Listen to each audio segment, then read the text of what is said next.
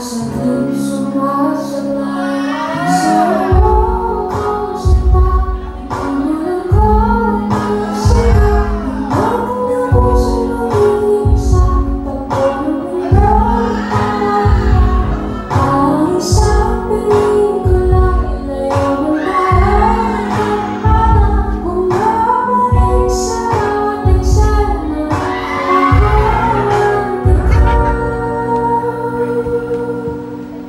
Oh.